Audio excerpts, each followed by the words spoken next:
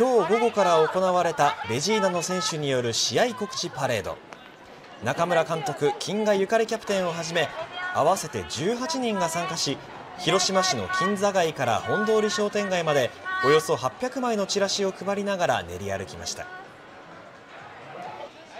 今月3日に行われた新スタジアムエディオンピースウィング広島での初戦はレジーナ史上最多の4619人を動員しながらも惜しくも黒星。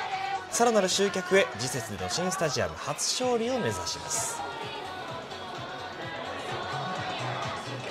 レジーナのことをおそらく知らない方にもこうアピールする場となったことにあのすごく嬉しさを感じています。本当に初勝利っていうものを私たち自身も、えー、強く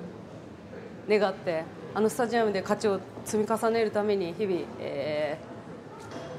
ー、チームで戦っているのでまず今週の土曜日、えー、スタジアムまで足を運んでいただけたら嬉しいなと思います。